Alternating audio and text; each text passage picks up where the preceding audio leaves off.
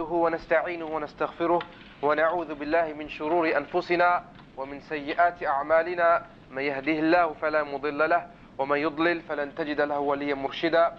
أشهد أن لا إله إلا الله وحده لا شريك له وأشهد أن محمدا عبده ورسوله صفي من خلقه وحبيبه. والصلاة والسلام على أشرف الأنبياء والمرسلين محمد مصطفى وعلى آله وأصحابه أجمعين. We've just heard the lecture on Salahuddin Ayyubi, brothers. and 20 years before Salahuddin Ayyubi, he, 20 years before he recaptured Jerusalem from the hands of the Crusaders, a terrible man was born in Mongolia. His name was Genghis Khan. Okay, Genghis Khan in 1167 he was born. And the Islamic State or the situation of the Muslims at that time was, you know, similar to what it is today, really, in terms of that Muslims were split up into many different states. There was not one large Khilafah ruling the Muslim world. So, for example, Iran and Khurasan was run by Muslims, the Khawarizmi tribe. Sindh, Pakistan, and Afghanistan was run by Muslims called the Ghawriyah. Sham, i.e. Syria and Palestine was run by the Ayyubiyah. Iraq was ruled by the Abbasi. And Turkmenistan and Georgia was ruled by As-Salajiqa. These were the main states that were around at the time. Also at this time, bid'ah had spread through extreme Sufi groups, was very prevalent amongst the Muslims. The Mongols under Genghis Khan began their campaign of terror. And by 1216, Genghis Khan had conquered Korea, Mongolia, China, and Tibet. And then he started to look towards the Muslim lands. And by 1219, the Khawarizmi, they were defeated, Iran and Khorasan. Then 1231 to 1242, Afghanistan, Georgia, Armenia, all these states, they were annexed and taken over by the Mongol horde. And what would happen is every single person would be terrified. And all the Muslim states in this situation, they submitted themselves to the Mongols. They didn't put up any resistance or they didn't retaliate. Rather, they would invite them in, say, look, take over our country and don't cause a bloodshed. And so jihad was non-existent in the mind of the Muslims of these states. Now the Mongols they became more and more brave until eventually they decided they were going to destroy the seat of the Islamic Khilafah which was Baghdad. By the time the Mongols had reached Baghdad, the leader of the Mongols was a man called, in Arabic he's known as Huluku and in English they call him Hulagu. Okay, Hulagu was his name. and he started to look towards Iraq. At the time, Iraq and Baghdad, we said the Abbasids, they were in power. And really, it was the end of the Abbasids, the end of their, of their reign. And a lot of bid'ah and lot of uh, uh, uh, amusements and pleasures of the world is what the Abbasis were concentrating on. Music and dancing girls and, and uh, all these kind of things. Now, the Khalif, Musta'sim, he was taking advice from a Rafidi, from a Shi'i man called Ibn al-Alqami. Ibn al-Alqami. And Ibn al-Alqami, he was in contact with Hulagu also. He was a Shi'i, and that's some, you know, people of Ahl Sunnah should never uh, trust Shi'i people. He was in contact with Hulagu. At the same time, he was giving advice to Musta'sim the Khalif. And under his advice, the advice of uh, Ibn al-Alqami, when the letters of Hulagu reached Musta'sim saying, give up Baghdad, otherwise we're going to cause terror in Baghdad like we did to all the other Muslim lands, what did Ibn al-Alqami advise him? He said to Musta'sim, reduce your army. The opposite advice that he needed. And so Musta'sim, he listened to him. There was another a governor who was also in contact with Hulagu. His name was Badruddin, and he was the governor of Mosul, which is in Iraq. And Hulagu, he asked Badruddin to assist him with weapons. So he was getting letters from Hulagu saying, I want some weapons.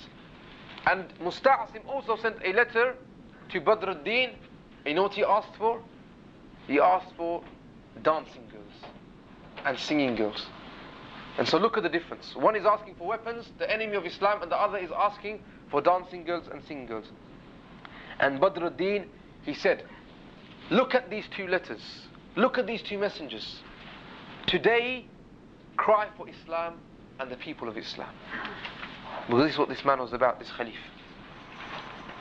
Now Baghdad, it had a population, it was one of the shining examples of an Islamic city. It had a population of more than one million. But despite this, despite this, there was only 10,000 people left to guard Baghdad. The capacity of soldiers was much more, but the soldiers, many of the soldiers, they decided that they would stay in the masjids and they go in the in in the marketplaces and they stay there and do dhikr and they make dua to Allah, oh Allah save us from the you know from the Tartars, from Hulagu and his people, and they just started making dua and this is what they did. As some people call you know this false claim, the jihad al-akbar as they say. And this is what they were doing. The Mongols and they surrounded the city. And the Arab horsemen compared to these Mongols, the Mongols they look you know tattered and they look ratty and a ragtag army. And the Arabs they look like mountains. They had their armor and they had their large horses and they had, you know their fine robes. But as one of the Muslim commanders he said, كسرونا كسرة عظيمة. They completely and utterly demolished us. When they tried to, you know, even hamper their progress into Baghdad, they couldn't. In front of these ragtag Mongol horde.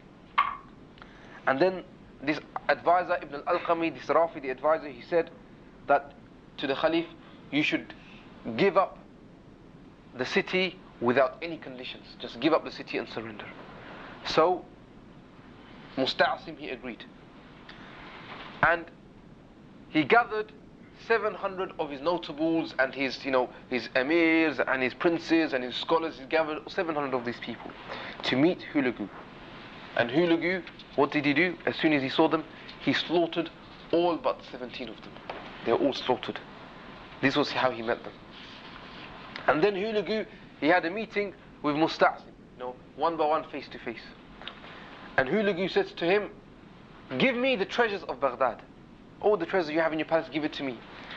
So then, then Musta'sim then gave Hulagu gold and precious items and jewels. He gave him a lot of treasures. And then Hulagu said to him, he said, You are the host, and I am the guest. So I deserve more. And it was said that when Hulagu said this to him, Musta'sim was shivering and quaking in his knees. He was shivering when he said this. And so Musta'sim then ordered the vaults to be opened and he opened up huge treasures for Hulagu and he said, Here are the treasures of Baghdad. But Hulagu was not satisfied. He goes, I do not want this. Because Hulagu knew, because Ibn al-Alqami the Rafidi told him about the treasures of Baghdad. He said, I don't want this, I want more than this. So Musta'sim, he ordered the palace floor to be dug. And the palace floor was dug. He says that inside, when he, they dug it, it was like the size of a large lake. And it was full of blocks of gold bullion. Pure 100% gold was inside this, this lake that they had really, you know, lake of gold was inside the palace. And you know what Musta'sim, what the Hulagu says? Hulagu then says to Musta'sim, this is all your gold, is it? He, he, picks up a chunk of gold and he says to Musta'sim, now eat this. Eat this chunk of gold. And of course he can't eat the gold. He goes, how can I eat it? He goes, if you're not going to eat it, then what else are you doing with your gold? Why didn't you spend this gold on your armies? Because at least you would have been able to defend Baghdad. So if you're not going to do anything with it, why don't you eat it? At least do something useful with this money. And so he humiliated the Khalif in this way. And then it was, was said that the Khalif, he was placed in a sack, and then they wrapped him in like a rug, and they trampled him to death. they trampled him to death. And after they trampled him to death, Baghdad witnessed its massacre. Baghdad witnessed its massacre. And the massacre was so much that the people of Baghdad thought that these people, they were the Ya'juj and Ma'juj that, you know, Allah has talked about in the Quran. And the Prophet ﷺ, they thought these people, the Mongols, they were the Ya'juj and Ma'juj. The, the Mongols, whoever they could see, men, women, old people, farmers, children, they killed. They didn't spare any single Muslim. People, to hide away from the Mongols, they hid in wells, they hid in sewers, they hid in toilets, they hid in graves, they ran up to the rooftops of their houses, and the Mongols would run after them, and then they would hack them down, and their blood would drain from the drains of the houses. They killed them in the masjids, and the famous story says that a Mongol woman would go to the masjid and find the Muslim there, and she wanted to chop his head off with an axe. Okay, she wanted to chop his head off, but she doesn't have her axe. And she says to the Muslim, wait there until I get my axe because I've forgotten my axe. Okay? And so, against this female Mongol warrior, the Muslim would wait in the masjid, waiting for him to be beheaded. That is a level of, you know, uh, cowardice that had crept into the hearts of the Muslims. They burnt the books, and they used those books, and they, they burnt the books, and they even used some of the books like papier mâché to make structures out of, to make bridges, to make all these structures. That's how much, how much of, they said half the knowledge of the Islamic world had gone when Baghdad fell because that was the seat of the Islamic learning. And the rivers, they began to flow bl- with black, the ink of the books, after they had flown red with the ink, with the blood of those people who had been massacred. And the only people that were spared were who? Were the Jews and the Christians. They were the only people that were spared. And in fact, in the books of history, it said that 800,000 Muslims had been massacred. 800,000 Muslims had been massacred in Baghdad. And Hulagu himself, after the huge rotting smell, he left. Right, he couldn't stay there anymore because the huge rotting there after 40 days. And then it said after 40 days, when amnesty was declared and Hulagu had left, people then came out of their graves and their hiding places. And when they would come out of their graves, the father, he wouldn't even say salam to his son because he didn't want people to know that he was a Muslim in case there was a Tartar somewhere lurking and he would kill him. That was the extent of the devastation. And so, in 40 days, 500 years of great Muslim civilization was destroyed at the hands of the Mongols. And when this happened, the Christians, they celebrated. because they were the, the, crusading, the crusades were still happening. And they were celebrating that, look, Baghdad has fallen, and they were very joyous and happy. They were very joyous and happy. And this is, there's a lesson to be learned from this. Did they resist? They didn't resist. And humiliation fell upon these people. And if they were to read hadith of the Prophet ﷺ, they would have known that this humiliation has been ordained for any group of people who accept their humiliation. Prophet Muhammad ﷺ, he says, in a hadith, in a sahih hadith, إذا ضن الناس بالدينار وتبايعوا بالعينة وتتبعوا أذناب البقر وتركوا جهادا في سبيل الله سلط الله عليهم ظلا لا يرفعه عنهم إلا وأن يعود المسلمين إلى دينهم. He said, if the people they begin to hoard money and they become stingy with their money, and they begin to تبايع بالعينة عينة is a type of contract in which interest is involved but the way that interest is it enters the contract is through like you know uh, a loophole and people utilize that to get some interest if they do this عينة contract وتتبع أذناب البقر and they hold on to the tails of cows meaning their only concern is agriculture and making money and getting food وتركوا جهادا في سبيل الله and they leave jihad in the way of Allah what will happen سلط الله عليهم ظلا Allah subhanahu wa ta'ala will send down upon them a humiliation and he will not lift this humiliation until the Muslims they return to their religion so this humiliation afflicted Baghdad it afflicted Baghdad this was the curse of Allah subhanahu wa ta'ala and the curse of all the people, it says in another hadith, for when the scholars, they say this is not the time of jihad. And afflicted Baghdad. And so, Hulagu, after taking Baghdad, was he satisfied? He wasn't satisfied. He then began to take the other Muslim lands. Okay? You know, Palestine and Syria, these areas, they began to fall into the hands of the Mongol horde. And in fact, it said that many of the governors of these, these countries, they invited them in. After seeing what had happened to Baghdad, it was, a, it was a terrible shock to the Muslims. 500 years of civilization finished. The terror, it spread into the Muslim hearts, and a lot of the Muslims, they fled. They left their homes, their possessions, and they ran westwards towards Egypt. Egypt was the only place, the only sanctuary where there was Muslims still left who were ruling by the Sharia. All the other Muslim lands had fallen into the hands of the Mongols. And so Egypt it became a refuge for the fleeing Muslims from the Tartars. Now at that time, Egypt was run by a king who originally was not destined to be a king. In fact, they were slaves brought into Egypt. Okay, by the Ayyubis, they were slaves brought into Egypt. And these slaves, they originated from Chechnya and from the Caucasus mountain regions. But then they themselves took control and took power and they themselves became kings. And these were known as the Mamluks. In, the, Islamic history, if you ever hear of the Mamluks, these were these people. They were, in, they were controlling Egypt. And one of their leaders is a great man by the name of Muzaffar Qutuz.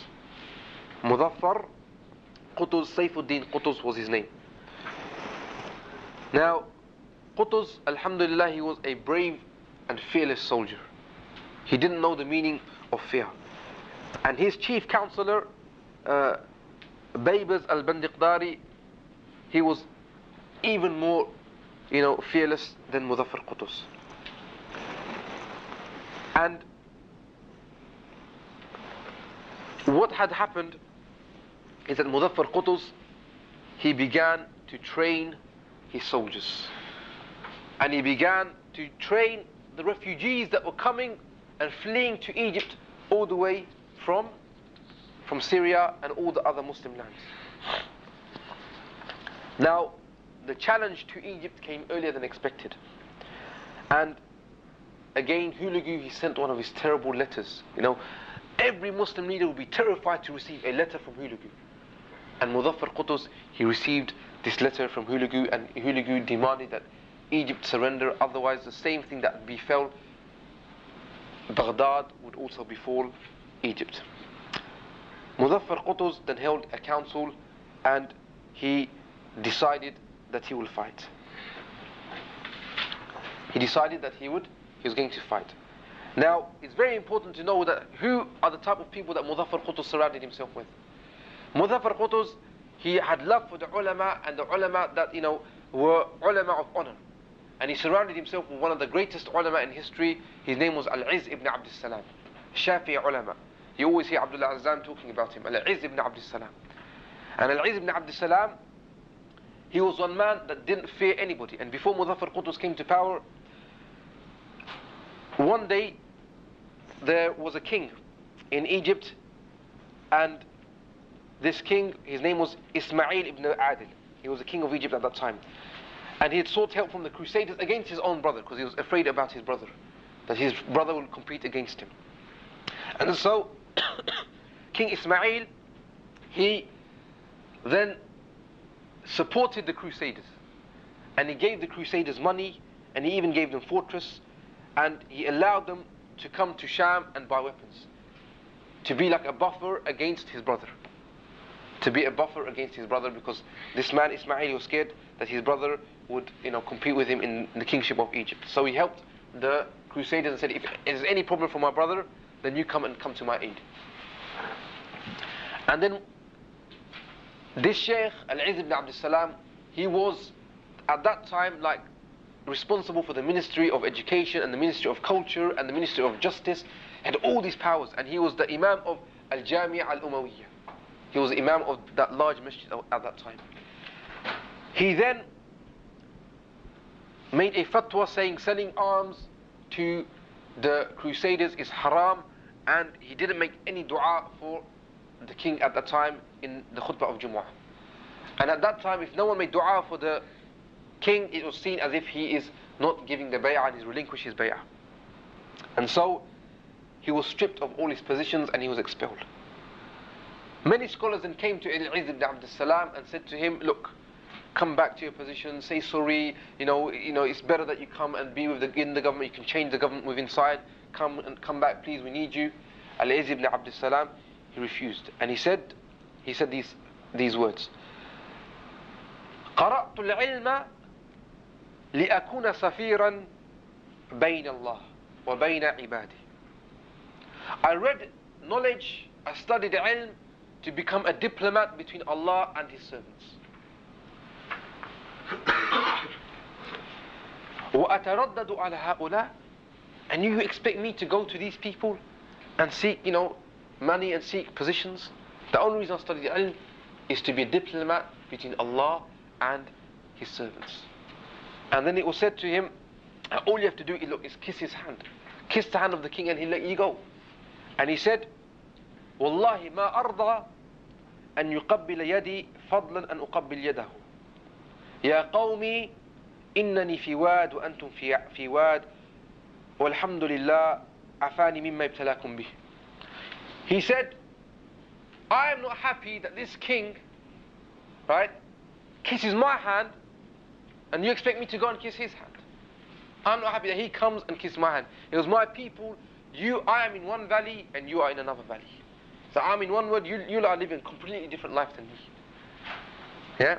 And he said, Alhamdulillah that Allah has saved me from this trial that he's, you know, you know, uh, um, tried you and so this is the kind of alim that Muzaffar Qutuz surrounded himself by. Muzaffar Qutuz, he ordered that the tax be increased above zakat. Add tax because we need to make weapons, we need shields, we need you know horses, we need to train people, we need to defend, we need money. And so we started to raise the tax. Al-Izz ibn Abd salam said, O Muzaffar Qutuz, I will not allow you to raise the taxes until you and all your people first give from all the gold and the treasures that lie in your vaults. And all the princes, first they must give that in the way of Allah, and then I will say to the people, and I'll, I'll agree in raising of the taxes. So you can see that the person that he surrounded himself with. And is one of the faults today that many of these leaders, they don't surround themselves with the pious and honorable ulama. now, the Mongols, they had sent messengers to Muzaffar Qutuz. They had sent messengers to Muzaffar Qutuz. And what Muzaffar Qutuz started to feel was that the Syrians that had fled and ran, and all the other countries, the Khawarizmis and all the people that had fled, all the Muslim lands that come to Egypt, he was worried that these people, they will buckle.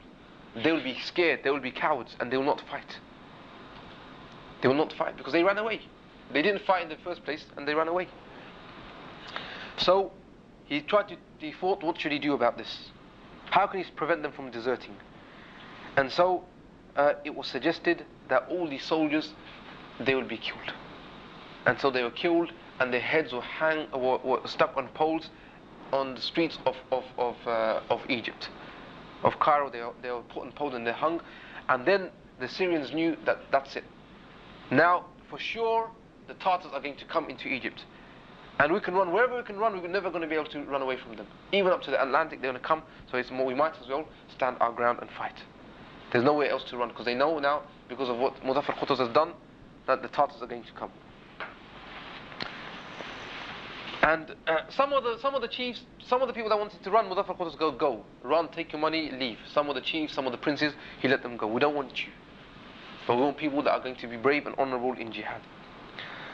So they moved on to the plane of jihad. And firstly, Muzaffar Qutuz went, and then also Zahir Baybars, he led an army, and he was the cavalry. The was the cavalry, and Muzaffar Qutuz had the infantry, infantry with him. And um, then when they reached the borders of Egypt, when they're going to meet the Mongols, and if you look at your map, the Mongols, they were coming down from Lebanon. Okay, they're, they're taken over Baghdad and they're coming from the north direction from Lebanon down where now towards Palestine is, where Philistine is, where Jerusalem is. And so Muzaffar Qutuz, he decided to meet them. So he was leaving Egypt, leaving Cairo, and going to meet them. And the actual battle, it was going to take place somewhere in Palestine. And when they reached the borders of Egypt, many of the Egyptians, they hesitated. They, you know, fear overtook them. and then Muzaffar Qutuz, he said he would fight the pagans single-handedly and on his own if necessary. And those who wanted to leave him, they are free to go. And then he marched with the Mongols, with the Mamluks. Not the local Egyptians, but the Mamluks that had come to Egypt. He marched forward and said, I'm going to leave you alone. Even if it's me on my own, I will fight these people. And then the rest of the Egyptians, they joined and they followed the example of their leader. Now, the Mongols, they were known for their quickness. They were known that they would, when the Mongols would take over any country, or they'd move across land, they'd move very rapidly. But Muzaffar Qutuz was also very fast, and the Mongols were also very fast. And the Mongols at that time were today is you know where Gaza or Gaza is today. That's where they were. And what had happened is that that's a group of a garrison of the of the Mongols was stationed. And Muzaffar Qutuz immediately sent Zahir Baybars on his cavalry to chase after them, and before they could even flee, they were mown down, that garrison of Mongols, by Zahir Baybars. Now, the Egyptian army and the Mamluks, they marched up and they reached an area called Ain Jalut, the valley of Jalut, right, which is just near Gaza is. Okay, Gaza is you know below Jerusalem, near where Gaza is not too far away. And he marched, and on the side, on his side, there were 12,000 soldiers. Okay, 12,000 soldiers of the well-trained and disciplined soldiers of the Muslims. now, we need to talk a little bit about these two armies. The Mongols, they had a huge army, and they were known for their rapidness, and they were known, for example, the Mongols, their army was so huge that they couldn't move across a, a land in one line because there wasn't enough grass or fertile land for their, for their horses to take. So they had to search for fertile land and they would flank their enemy and they would surround their enemy and they'd move rapidly. Before the enemy even knew it, before the people of Baghdad knew it, they'd completely surrounded Baghdad. They moved like this, like lightning. Because in the steppes of Mongolia, from a very natural, you know, early age, they were known to be, you know, uh, they were they were used to riding the horse. They were used to, to the horses, and the type of horse that was bred there was, was a very fast type of horse. And what they would do, they'd surround the army, and then they were experts at using the longbow. And when they surrounded the army, they would fire from a distance at the army, and when the army would be disorientated and would be in complete and utter confusion, then they would march and strike at the army. Okay, so they'd confuse them first from far distance, and then they would strike. Similar tactics is used by the Americans today when they fire from you know high uh, high altitudes and bomb from high altitudes. And it was very difficult to find an army of the Muslims that were like to, that could match the Mongols. And it's very difficult for the Muslim to train in a few months' time people to match these Mongols. But from which area did the Mamluks come? They came from the Caucasus Mountains. Okay, they were the, you know, the original Chechen people. They came and they also had a similar training as the Mongols had had.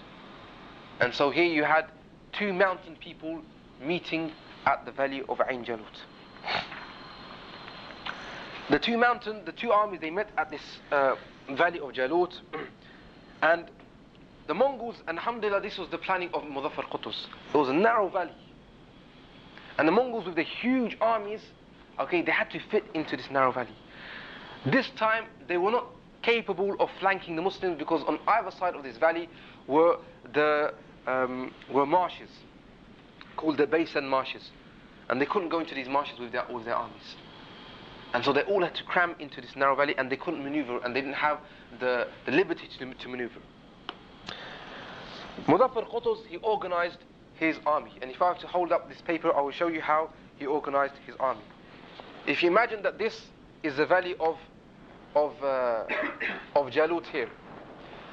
On one side of Jalut, here was Mount Jilbawa, and here was the river of Jalut. Muzaffar Qutuz here, okay, he placed the Syrian army and all, the, the, all those people that were refugees, he placed them at the front. I.e., the weakest troops, he placed them at the front, which was a very strange tactic.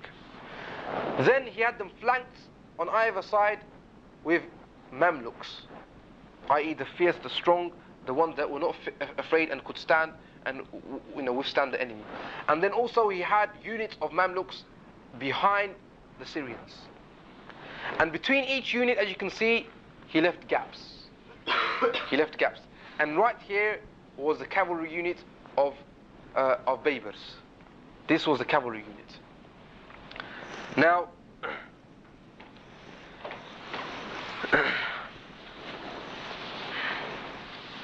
the Mongols, as was their custom, they began, like I said, they couldn't flank them. They began to fire longbows, and the Muslims, the, the, the Mamluks, they were not good with the longbow. They were good with the short bow. So their bows, the bows of the Syrians, could not meet and match the bows of the of the Mongolians, of the Mongols, of the Tartars. And so the Tartars with the long bows, they kept on striking and striking until they disorganized and caused confusion amongst the ranks, the Syrians and the, the Khawarizmi and all those who were refugees. And as a result, panic struck these people. Remember we said that they, they, were, they were cowards, they ran away. And Muzaffar Qutuz knew this. Muzaffar Qutuz knew that when these people, when the arrows would start to be, you know, shot at them, they would run away and they would not stand firm. And so these people, they began to run. And when the Mongols, they saw that huge army of like Muslims, they're running away and they're fleeing, the Mongols, they led chase.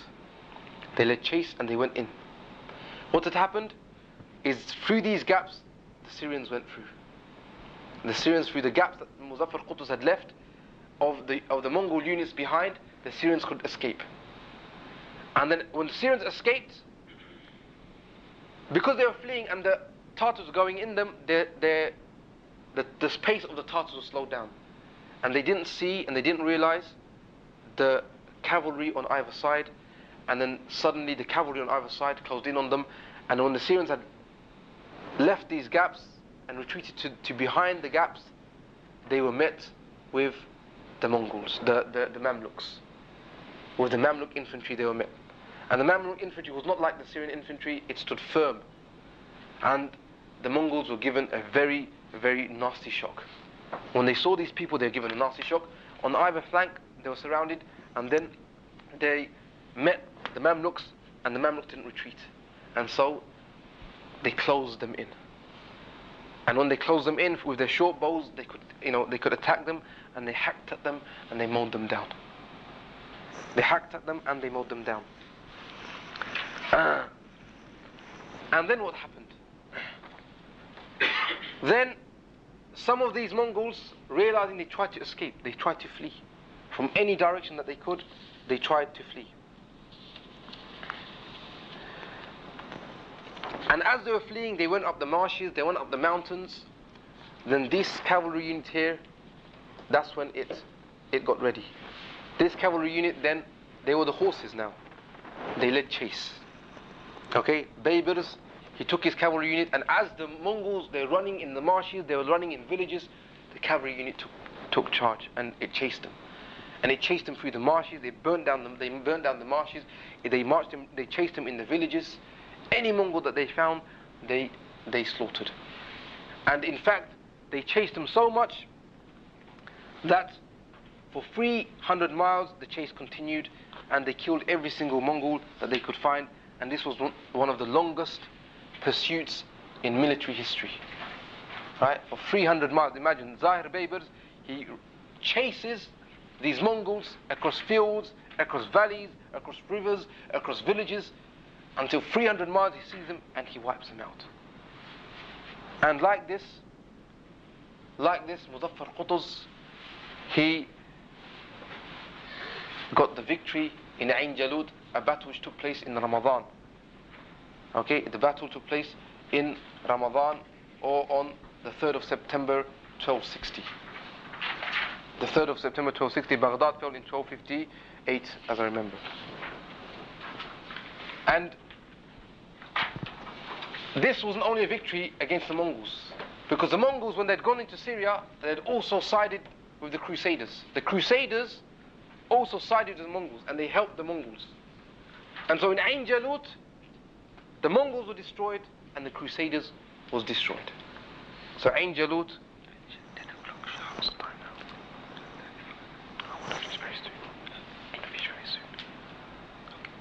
So Ain Jalut was a battle in which the terror of the Mongols and the terror of the Crusaders was finished in one go.